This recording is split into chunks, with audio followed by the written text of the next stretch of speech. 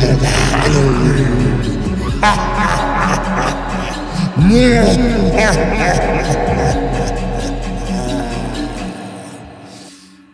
up, everybody? My name is Nikasin. Thanks for coming back to my channel for another 30 days of Halloween. And we brought back my good friend, known as True Masshole. What's up, True Masshole? What's up, man? Not too much. Same old. Absolutely. Good to have you back. Great to be here. Yeah, we got to, uh, today, it's a Halloween horror podcast. So naturally, we had to fit this in there. The original OG 1978 Halloween. John Carpenter's original masterpiece.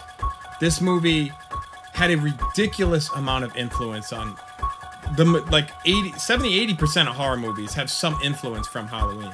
That's fair. You know, and it's that movie you go back and watch it and it's like if you if you watch other movies from 1978 it's just like it's a lot better especially for horror I mean, it was low budget, shot in 21 days. 21 days that's that's wild like, i can't believe that 21 days dude that's wild There was absolutely no faith whatsoever in the filming of it. really a bunch of It people was- like doubted it Yeah. wow. And uh, actually, all it took was for, I don't know if you've heard of two guys by the name of Siskel and Ebert. heard of them Uh, Roger Ebert actually gave this a review and said, go to the theater and watch this movie. now and the rest is history. dude that's wild i have to say like halloween it has for the day you know what i notice i'm a dj music producer by trade and i always notice sound music like like i pay close attention to because that sets the especially horror like if you notice every jump scare it has a loud noise with it Yep. and that's what makes you jump it's not it's not the scene it's like it's a lot louder than the other audio so yeah so i notice that stuff like a lot i try and pay, atten- pay attention and um in Halloween, the suspenseful noises he uses are so good. And it's, that's why John Carpenter did this movie. And he did every aspect of the movie. I respect that because if I made a movie, I'd want to do the music. I'd, Yeah. wa- I'd want to do the cinematography. I'd want to pick the actors. Like I would want full control, and he had full control, and he showed what he could do. That's what that's that's how you know a creative genius when you see one. Yeah. You know, like he has complete control, and the movie's like perfect, pretty much. He showed the movie at first, right, Yep. uh, to USC students. Okay. I didn't know that. A bunch walked out. Really? One of them, as they were walking out, said, Why would you even make this film? You know what? That slow build, man. Some of these kids, they, they're like, oh, you know, I- what's ha-? they don't have any patience. It's true. So he brings it to, you know, a, a big a movie producer. Mm-hmm. And they're like, This isn't scary at all. And so he was like, Okay. So he goes back to his house and he's tapping.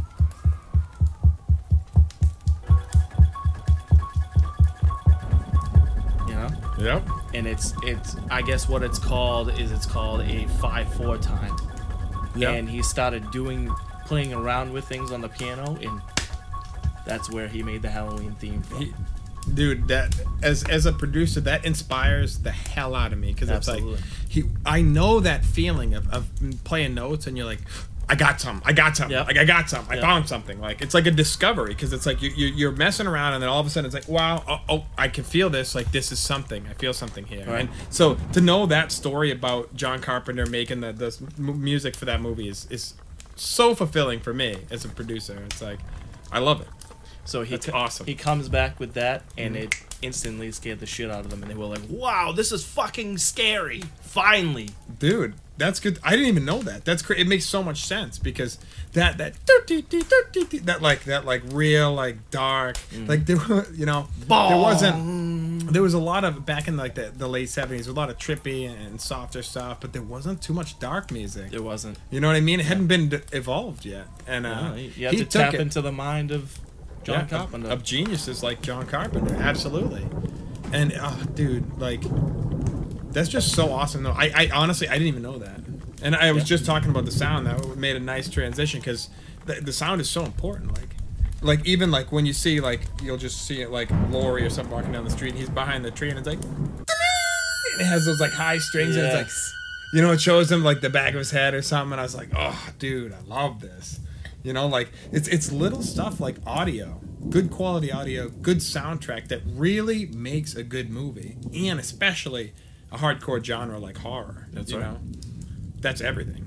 You know, good audio, and you, like we talked about earlier, there's like a lot of uh, reused sound effects in the in the 80s, 90s. Yeah, like Too many. gunshots, screams, you know, stuff like that. They had a soundboard. It seems like everybody had like this 10 sound soundboard and they just all just picked something. It's like you couldn't just record on a mic, someone be like, ah! You know what I mean? You couldn't just re-record it. you just used the fucking soundboard. And John Carpenter did none of that, dude. No, all original sounds, Yep. all original audio That's right. respect, dude. 1978, it wasn't easy to do that shit. Now, like everybody, everybody does that. Tons of stuff. It's easy. You can go on websites, hire people. But he had to literally create that stuff back in the day. It wasn't. You you didn't have all these outlets like the internet to find people to do that. You know what I mean? That's right. Oh man, the thing. We, one of the main things I like about the original Halloween is how like animalistic he feels. Like he like when he's killing people it's like it's not it's just like controlled rage. It's like he's not it's not an emotional he just grabs you and then he just like makes you die. It's not like he doesn't feel like he's like angry. It's just like he just like grabs you and, and makes you die. You know what i mean? And and another thing is he never kills anyone the same way in that movie. No, he doesn't. which I, which I like. I, that's that's like a, a film nerd type of thing, but I love that because every kill is different. It's creative. They, they they didn't just like he didn't just stab people the same way. you Yeah, know? it would be fucking boring. Yeah. If that was the case, like. and okay, it's like okay, it? yeah. Oh, I'm just gonna leave. Stab then. people. When he took that, like, I don't care about spoilers in this movie. You gotta have seen. If you're on a Halloween podcast, you've seen the original. But when he takes the guy and he, he grabs him by the neck and he like puts him, he like grabs and he fucking. I was like, dude. He throws him up and then that's that's right before he puts the sheet over him and, and the glasses. No, he he had the sheet over himself.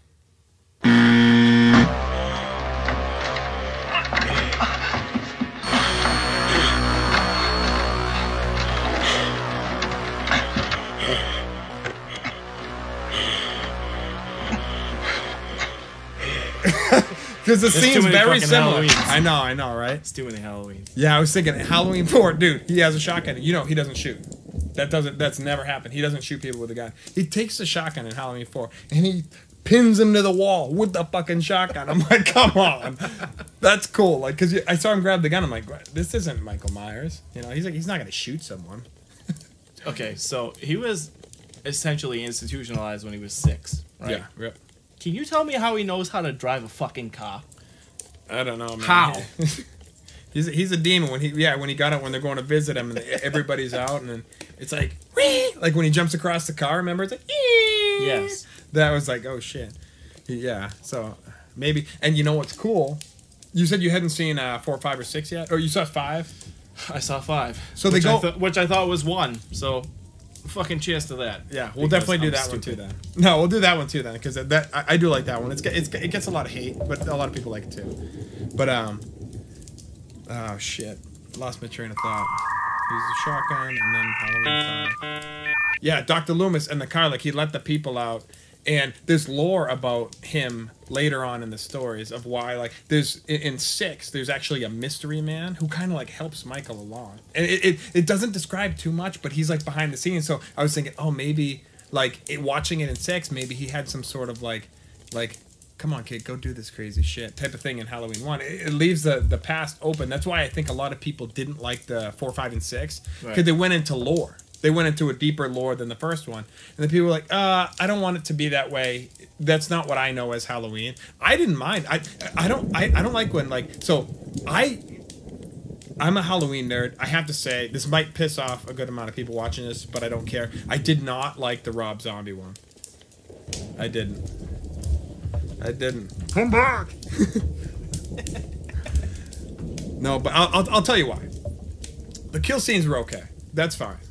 But in the beginning, I say this to everybody I talk to about Halloween and why I don't like the Rob Zombie movies. He's he's older than six, I think, in the Rob Zombie one. He's probably it looks like he's like he might play a six year old, but I, I guess it'd be like six to eight. Yeah. And um, thing I don't like is that it shows him. And Rob Zombie actually went to John Carpenter. He's like, "Do you mind if I do a Halloween movie?" And John Carpenter did say, "He's like, I don't mind, but make it your own." don't try to do exactly. Yeah, which he did definitely. And um, I have nothing against him. I just didn't like the rendition of it because what I'm getting to is shows him in his house, right? His mom is like this single mom who's like a stripper and she's like neglectful and she's dating this like abusive stepdad alcoholic and he's in this like like kind of like shitty trashy home of like a like a you know like and i thought i thought they really explained it away it was like oh he's just some fucked up you know little kid who came from a bad family and i was like ugh, it's just like it was like oh because in the in the original he just like snaps one day he grabs a knife kills his sister and then he's silent and the, the doctor's tried and nothing nothing said so the mystery behind it is like what the hell happened And also, his parents show up, and his mother seems like he knows what he did already. Like, what the fuck did you do now, you little weirdo? yeah yeah You know? Literally, yeah. And I don't I don't like to hate on it. And I I love Rob Zombie's music, I, you know. But um I like some of his movies too. But I just And he's local. yeah, yeah, he's from Mass. That's right. Mass. Yeah, yeah, he was talking about that in the uh, the Joe Rogan podcast. I watched a little bit of the Rob Zombie one, it's pretty good. But um I don't have anything against him. I just as a Halloween nerd, I think I just didn't appreciate that it was explained away why he killed people because there, there was no like he didn't it, nothing was said in the original. His sister just seemed like a normal girl brushing her hair. He put the mask on and then he became someone else and then he never went back to being who he was. And I was like, that's interesting. Like that that gets me. But then you show it's like some uh, the abu- abusive stepdad, the like alcoholic stripper mom, whatever it whatever it was. She was like that, like whatever. It was like, oh, he's just some broken kid. Yeah. Like, I don't know. It just it, it so I don't mind. Some of the scenes are cool, kill scenes, but overall, it just kind of killed it for me because the the mystery behind Michael Myers to me is what really was like intriguing. It was like on, on Halloween he comes back and then he's gone. You know, they go back into that. We'll go into that in uh, four, five, and six. They go into like I said a little bit of the lore, but that's what I didn't like about the Rob Zombie remake. So yeah, that's like that's basically why I didn't like the uh, the Rob Zombie one as much. You know, I appreciate the newer one, the 2018. that was great.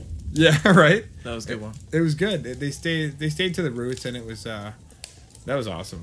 Like uh, the thing I like about that was supposedly what was said about that was that's actually the remake of two. Like that he wanted it to go from Halloween one to this 2018 one. Oh, shit.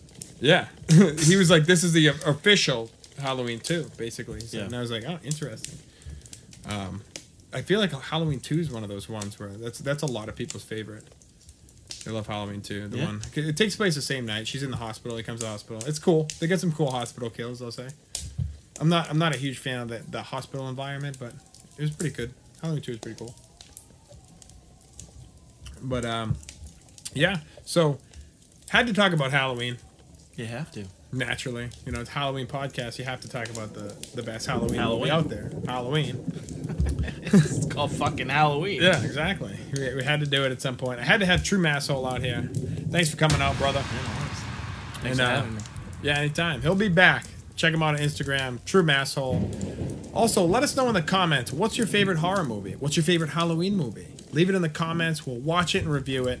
Don't forget to like and subscribe, and we will see you on the next one. Thanks again. It's empty, but I will cheers you. Thank you